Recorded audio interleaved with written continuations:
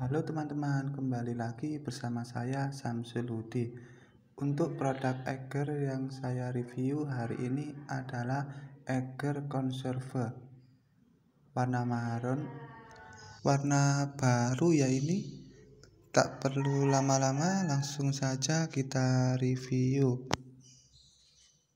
Tampilan depannya seperti ini teman-teman.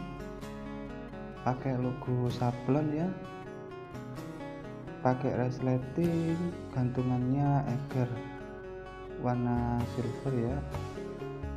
Ada aksen reflektif. Sama resleting saku depan pakai resleting begini ya teman-teman. Untuk ruang utamanya pakai resleting yang tertutup. Gantungannya warna hitam.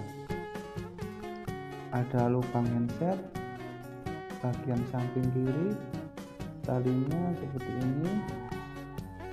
Cetekan talinya seperti ini teman-teman. Kuat.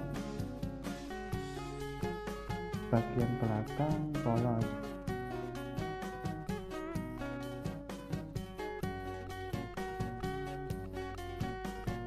untuk dalamnya mari kita review.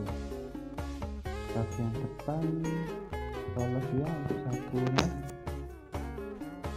untuk ruang utama ada slotnya. Warna marun juga ya dalamnya. Seperti ini